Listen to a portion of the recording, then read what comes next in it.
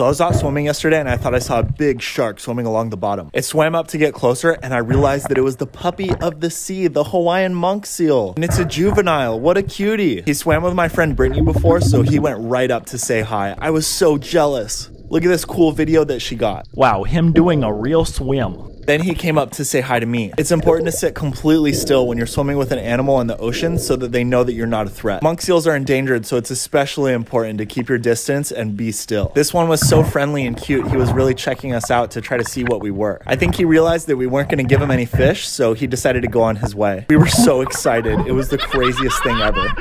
I didn't even want to breathe. I was like, oh my god, That's around here. Yeah, that's what happened when I was by myself. It was the same one, right? Yeah, exactly. Oh my god. Like this video for more underwater animal interactions here in Hawaii.